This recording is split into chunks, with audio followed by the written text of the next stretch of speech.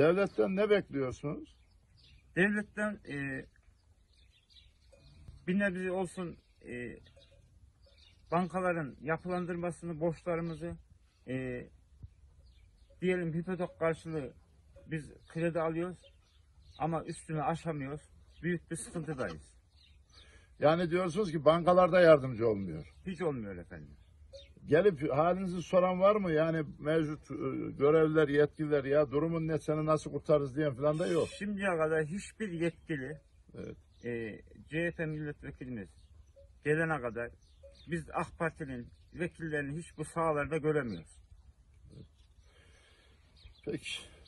Bu tabii ülke için düşündürücü, üzücü. Çok. Hayvancılık sayısı giderek art, azaldıkça burada hayvan açığı da oluşacak. E, s- e, tabii ki sen evlisin, çoluk çocukların var. var. Evin ipotekli Evet. ama elindeki hayvan borcunu karşılamıyor.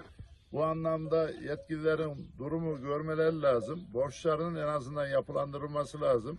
Hayvancılık yapanlara destek verilmesi lazım. Sorunlar katlıyor. Bakanın söylediği gibi Avrupa birincisiz diye övünmek yerine küçük aile tipi işletmesi dediğimiz kırsaldaki işletmeler ne yazık ki giderek e, kapanıyor. Hayvanlarını borçları karşılamıyor. Büyük bir mağduriyet var. Yetkililerin bu sesi duymasını istiyoruz. Sayın Vekilim, devlet devlere çalışıyor. Küçük işletmeler gözünde sıfır devleti. Devlet büyük dev şirketlere çalışıyor. Küçük aile tipi işletmeler. Küçük aileyi silmek istiyor. Siz bırakın bu işi, büyüklere köle olun diyor. Evet. Çoban bulabiliyor musun? Çoban da bulamıyoruz. Ee, kendimiz e, çabamıza göre yapıyoruz. Ee, severek yapıyoruz ama şu anda Meralarda da ot yok diyorsun. sıfır. Bak şu mevsimde beyaz saman yediriyoruz. Peki teşekkür Onun için en az 4000 liradan koyunların satış fiyatı bunun için de vekaletli hayvan kesimindeki ücret çok kişiye cazip gelebilir.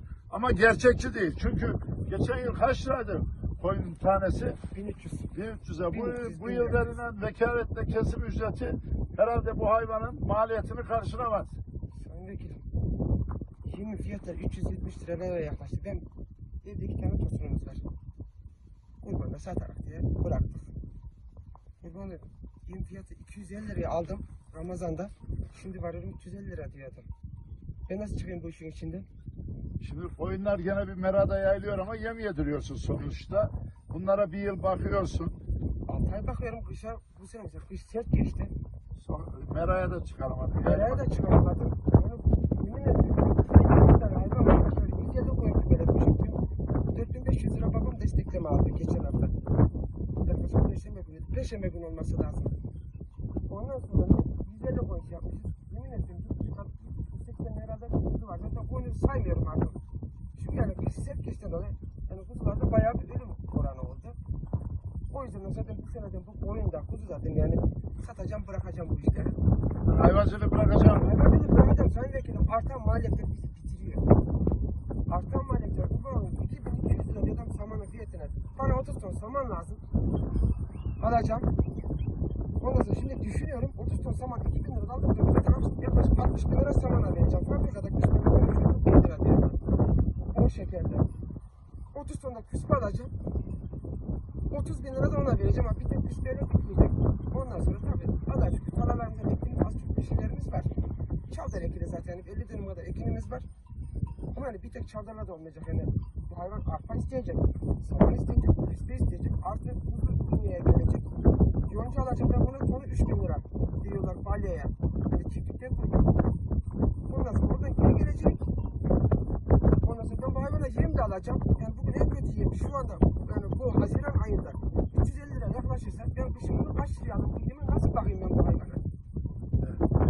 Yem fiyatlarındaki artış hayvancılığı da artık yapılamaz noktaya doğru getiriyor. Bir an önce yem fiyatları sübvanse edilerek çiftçiye destek verilmeli, besiciye destek verilmeli, sütçelikçiliği yapana destek verilmeli.